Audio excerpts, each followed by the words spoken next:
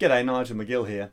Some people have been asking me about ligatures, so I thought I'd have a quick chat with you today about uh, ligatures in our daily saxophone tip. There's lots, it's quite confusing. There's lots of different styles of ligatures, and it's hard to know what the difference is and which one to go for, right? So, most of us are familiar with the standard sort of ligature, which looks a little bit like this a standard metal uh, loop with two screws. That's a normal kind of ligature, and yeah, they work great, you know. That's the kind of ligature that comes with most saxophones as a standard thing.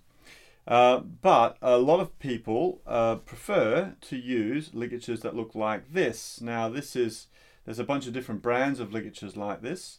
Um, I use one made by Rovner, but there's lots of different brands. And this sort of ligature is made with a fabric strap around and a single screw at the top. The main reason to go between something like this and something like this is that in my opinion, it frees up the vibration of the reed, which enables you to get a bigger, rounder sound, a nicer sound. Now, if you're playing classical saxophone or or jazz, or it doesn't really matter what sort of style, if you want to get a wider range of sounds out of your mouthpiece, then something like this might be the solution for you.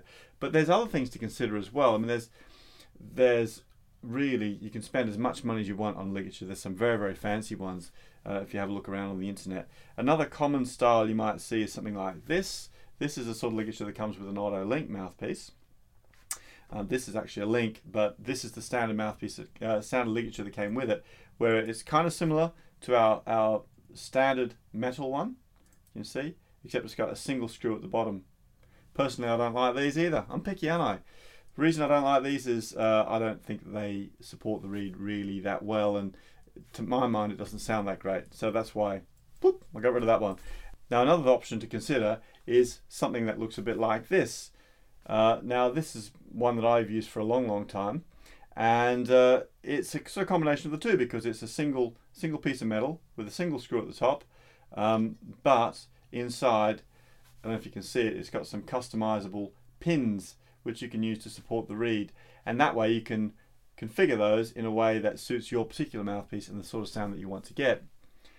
Quite expensive those, but uh, for, for me, for the mouthpiece I was using at the time, uh, it was a good choice. So, the basic to basically sum up here, this is your standard ligature.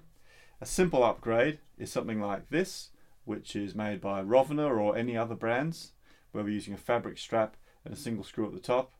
Um, but you may also want to consider some of the other more fancy ones. The point is, experiment with ligatures to see the sort of sound that you get and find something that suits you and the style of playing that you're doing. I hope that's helpful to you. Good luck with it. Let me know actually, send me an email, let me know how you get on with your ligatures and find and let me know what works for you and and how you feel the ligature that you like differs from something you've had before. Okay, good on you. I'll see you on the next one.